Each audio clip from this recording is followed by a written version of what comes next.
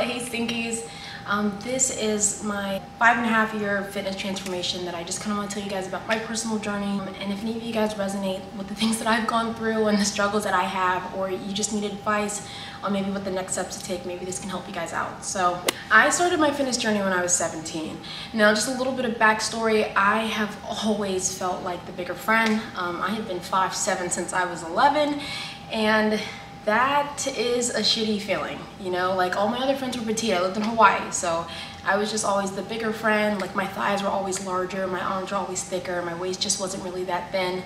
Um, and that really affected me growing up and my self-image and my self-worth and it fucking sucked. So I remember the turning point for me was like I was in high school and like my crush right? He was like, I don't know why we were talking about thigh gaps, but he was just like, oh yeah, like I worked super hard for my thigh gap. And I don't, I've never, like, look at this. I have never had a thigh gap in my life, like ever, okay? I'm a beefy bitch. It's just never happened. That situation made me feel like ass. It caused me to just have a really, really unhealthy relationship with my body and my self-image. Fast forward to when I was 17, I started working at Chick-fil-A. I had moved from Hawaii to Virginia and they don't have Chick-fil-A's in Hawaii which is why when I had it, I knew I needed to have it every single day, which is exactly what I did. And so I ended up gaining around 40 to 50 pounds. And so I went from 150 my freshman year to being almost 200 pounds close to 200 pounds my um, junior year of high school. Uh, my turning point for me when I decided that I was going to change everything was one I got fired from Chick-fil-A uh, for not showing up to work. Sorry. And then two I didn't make it to the States for track and field uh, my junior year and that was embarrassing and so after school I had started running a mile every single day and doing like 15 to 30 minutes of HIIT um, and that shit worked. Like, also I was eating like 800 calories, but it worked. Like I lost, you know, the 40, 50 pounds and got back down to that initial weight. But the issue with that is that that wasn't sustainable for me. So fast forward into me going into college and I gained the freshman 30, okay? It wasn't 15 for me, it was 30. If you know anything about college, the whole buffet style that they do, like it, it got me. Like I was in there enjoying myself. Even though the food wasn't even that good, I was eating just to eat. And so that really affected my mental health because now I'm like, damn, like all this work that I did, like I'm, I'm sitting there trying to be cute and, and be curvy and be thin. And that just like, for me, like I wasn't where I wanted to be. I soon met my best friend and we both decided that we were gonna change our bodies and we were gonna start meal prepping and really take the gym serious and we went to the gym six days a week. And we did the saran wrap in the fucking uh, in the sauna and we prepped all of our food. We did that every week.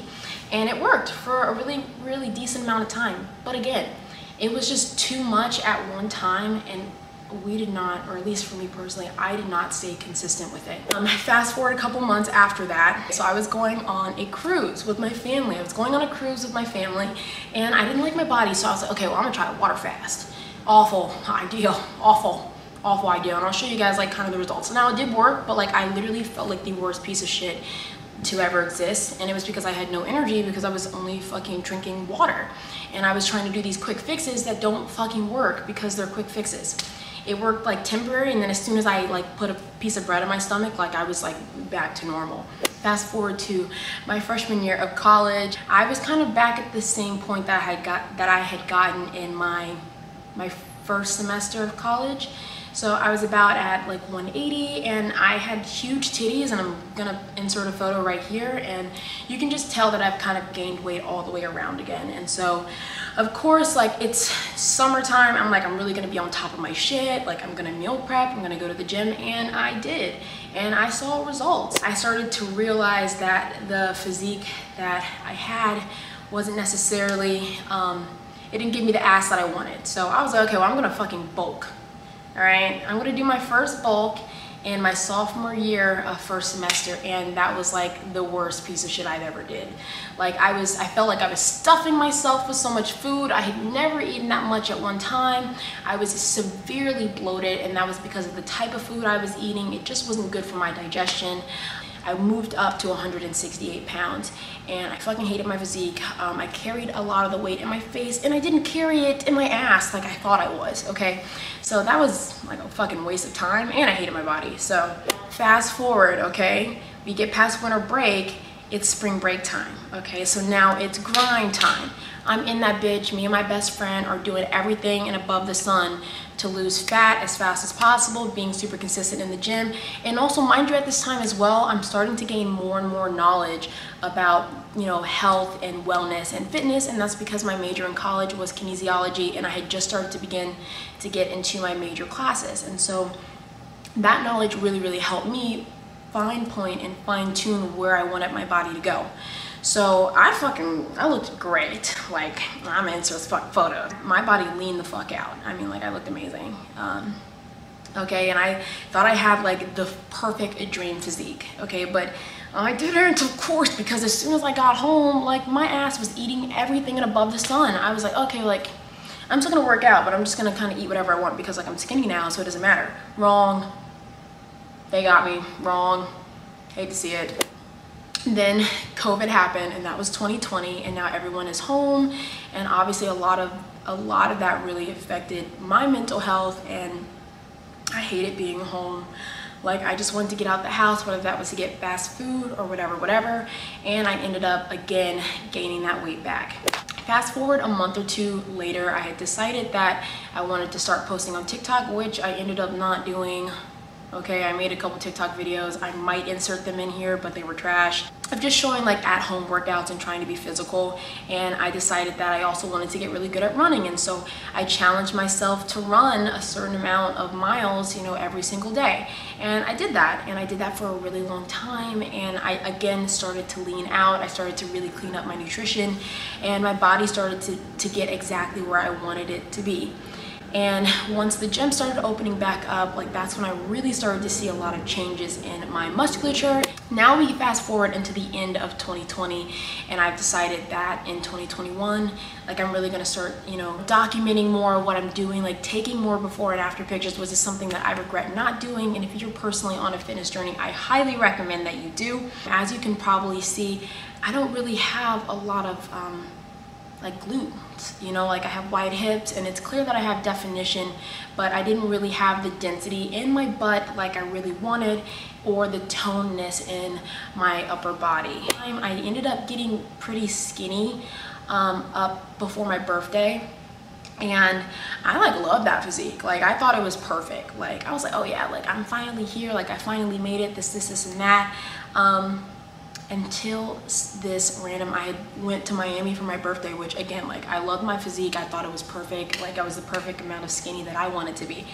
And someone had took a picture of me from the back and they showed me my butt okay? And I didn't know that I had anything to be depressed about until I fucking saw that picture. It had me sick okay? Because I mean I was giving pancake.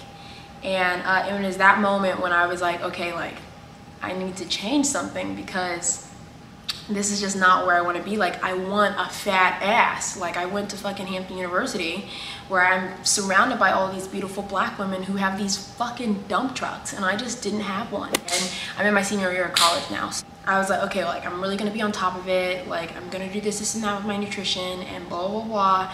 And again, I started to lean out again. I wore these like BFR bands for like a really long time for like two years because like I was really insecure about my butt. And yes they do have benefits but um, I just I wouldn't personally recommend them um, because the only real reason I was wearing them was because I wanted my butt to look fatter. Again cut down really liked my physique my butt my glutes really started to grow and that is because I focused on my form when it came to my lower body exercises and I really started to see results with that um, but then I got COVID and I had some other health issues that I'm not gonna talk about on here because it is personal. Um, and it ended up just setting me back where I wanted to be. And then I also had like some knee issues um, where I had to go get physical therapy for. Um, that made it really difficult for me to do a lot of movements and I had to really stop you know, doing specific exercises like squats and lunges and I felt like that shit was really holding me back and it just sucked to kind of deal with that and not really know when, you know, when you're gonna feel healthy again. Now we are around mid-January. This is my last semester of college and I'm just like, okay, like I'm really about to, you know, go go all in again, which is again like you're gonna go through constant cycles where you're just gonna be like, I'm gonna go again, I'm gonna go hard in the paint, I'm gonna be consistent, and then like you're inconsistent. So hear me out though, okay? I had recently started seeing all of these TikToks about people taking creatine and it growing them the fattest ass that they've ever seen before, and also about the importance of training hard and eating enough. Um, and so I decided to take the leap. I bought the creatine. I freaking increased my calories to around 2,700 and that was the most calories I've ever eaten before. And I also started training closer to failure. I did those three things and I fucking blew up and not in the way that I wanted to blow up. I didn't like my physique. I didn't like the way that I looked in dresses. I didn't feel like I was really feminine anymore, but I just kept pushing through. And I was like, well, let me just stay consistent with this. Like I need to give my body time and I am so grateful that I did that because I started to lean out significantly on those same calories. Now, you know, I graduated college, I moved to Florida, and then I decided that once I'd gotten really lean, I was like, okay, well, I want to put on more muscle again, so I want to go in a bulk. Okay, so now instead of eating 2,700 calories, I started eating 3, 3,100 calories, and I got fucking thick. I mean, as expected, like, and at first it was, you know, it's fun, but you don't realize that you're at your dream physique until you no longer are at your dream physique. It is difficult going from eating 3,000 calories and then trying to go into a cut um, because you have a 3,000 calorie fucking hunger sensation. Like I was hungry all the time, like I could eat all the time, like it wasn't a problem for me to get my 3,000 calories, 3,100 calories in, like I was ready to eat. And I was still training really hard. I was still being consistent with working out. I never ever stopped working out in that process, but Again, it was difficult for me to shed the fat because I didn't have any self-control when it came to food. Now, where I'm at right now is that I have started my cut. Initially, I did a great job, okay? I was like three weeks into my cut and I was fucking loving my physique. So now where I'm at today is I'm really honing in again on my nutrition and and holding myself accountable for the for where I can do better at because again like I want to be a better person not just like when it comes to my body but also when it comes to my mental strength and my discipline. I, you know, there is nothing wrong with my physique now. I know exactly where I want to go and I know exactly how to get there. And it's just about being consistent and patient because this process is going to take a really long time. It does, and I'm sorry. Again, like I have been working out for, you know, five to six years. And I only a couple months ago did I really see the changes that I wanted to make, Did I really see the glute growth that I wanted. So I don't know. I'll probably have to make another one of these because again, this was my first YouTube video. So I'm probably doing a lot of rambling and like the timeline probably is all fucked up. If you guys have any questions um, about your journey or if you want to know any extra information that I missed out, just drop a comment below and I'll make sure to respond to all of them. Because um, this isn't easy and having a support system and and having a community of other women who feel like they're going through this is, is important. So I guess I'll see you guys next time. Bye.